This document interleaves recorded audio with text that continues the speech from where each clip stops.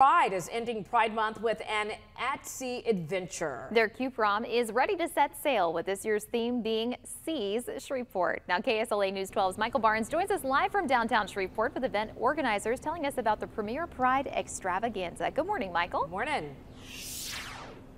Good morning, Dominique and Bisky. Yes, I'm standing in front of Art Space in downtown Shreveport, where Shreve Pride's flagship event, Q-Prom, returns for yet another year. And this morning, I have Shreve Pride's Landy Andrews joining us. Uh, first off, Landy, tell us about this year's theme, Seas Shreveport, the inspiration behind it, uh, what brought Shreve Pride to it.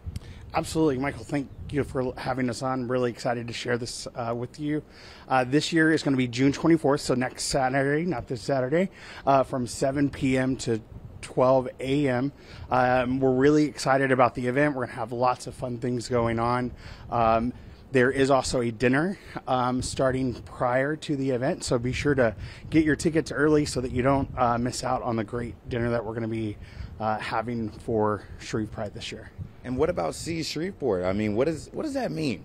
So it's actually a really cool uh, idea that our group came up with this year. Uh, the prom theme is really going to be centered around the idea of a cruise ship right? So each level of art space is going to be uh, decorated with different uh, rooms that you would find on a cruise ship. Uh, we're going to have great entertainment uh, to kind of s- to bring in that theme and everything from drag shows to drag bingo and casino games. It's going to be super, super fun.